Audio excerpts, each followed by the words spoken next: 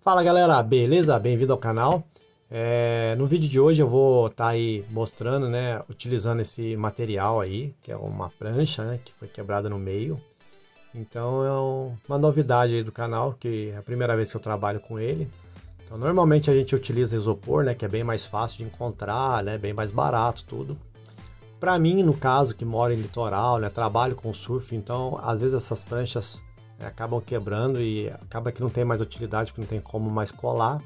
Então ela está sendo né, é, reutilizada aí. Então eu vou colocar meu, fazer as bases do meu diorama com ela, né?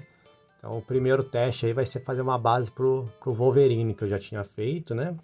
Eu tinha feito uma base antes como era ele saindo ali da cápsula, mas eu achei que ficou muito poluído, muita informação e acabou que ofuscou um pouco ali a, a, a escultura do Wolverine. Então eu optei em fazer aquela, né, aquela parte da cena ali que eles estão, é, que muita gente faz, né, que é ele na pedra, né, com neve e tudo mais.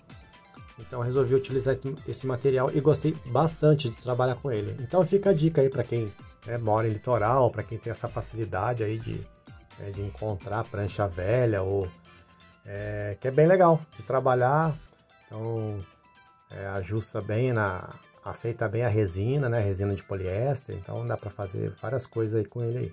Tá? Então o próximo vídeo vai ser utilizando, então eu vou usar resina também e vou estar tá dando algumas dicas.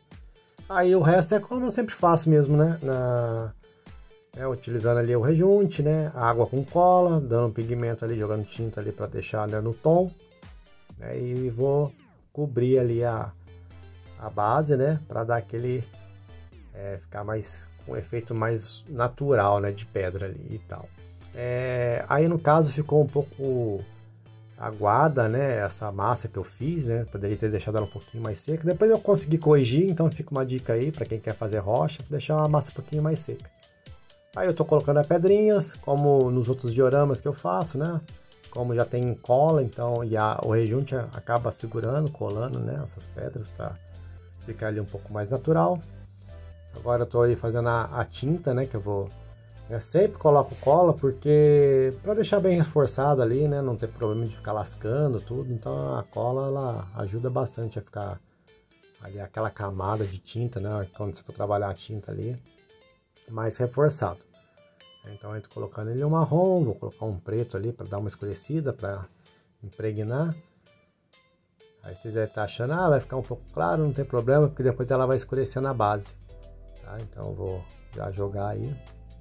Mas voltando lá, galera, é bem legal é, esse material, tá joia? É, agora eu vou fazer aqui um diorama, né? O próximo é um diorama ali do Hot Wheels. Então eu vou utilizar, espero que fique legal, espero que vocês gostem aí. Então já se inscreva no canal para não perder essa novidade, já comenta aí e vamos embora. Então ali você vê ah, como é que ela já escureceu, ela escureceu, né, ficou num tom, aí eu tô jogando um branco só para marcar ali um dye brush, né, marcar as pedras. E depois eu vou fazer ali a parte da neve ali com né, o bicarbonato e a cola. Então ela ficou bem ali harmônico ali as pedras. Ficou bem legal, gostei muito mesmo do efeito. Eu fiz a mesma para o Cavaleiro Fantasma, então foi ali que eu decidi fazer porque é, o resto utilizando bem esse material, que eu tenho bastante material né, dessas pranchas e ficou bem legal. Aí eu tô fazendo né, a neve, então é o bicarbonato com a cola e já vou ali despejar em cima para fazer aquele efeito ali da, da neve, né, o Wolverine pisando em cima ali da neve ali com algumas marcas de sangue, né, com, com o vitral. Então tá, tá aí o, o efeito. Então é, essa é a base do, do Wolverine ali. Então aí eu, tô, aí eu tô borrifando, né? A água com cola. Pra jogar ali um pouquinho mais de bicarbonato ali, só o pó do bicarbonato, né? Pra dar uma, uma textura diferente. E depois é deixar secar. E é isso aí. Beleza, pessoal? Espero que vocês gostem do vídeo. Aí a tampinha de paçoca, como eu sempre gosto. Encaixou perfeito ali, ficou uma base bem leve. Então tá aí meu bolo com, com glacê. O pessoal tá falando que é um bolo, né? Parece um bolo de chocolate com glacê. Então tá aí. Beleza, galera? Espero que vocês gostem do vídeo. Fiquem aí.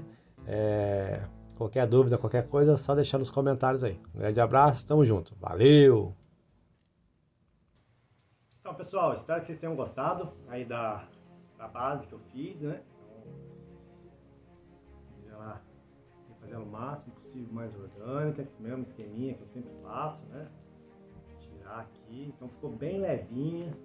Aqui é plástico leve, então é, aceitou bem a base, então só encaixar, né?